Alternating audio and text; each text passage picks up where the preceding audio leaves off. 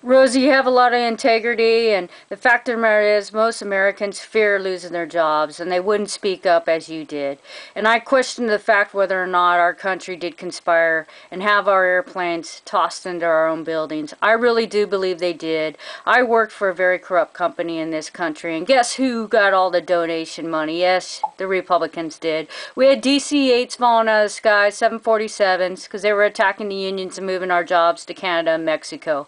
It's it's simple. We our semis were crashing all over the United States too, and no one seems to care because it's all about green blood and green money, isn't it, George Bush?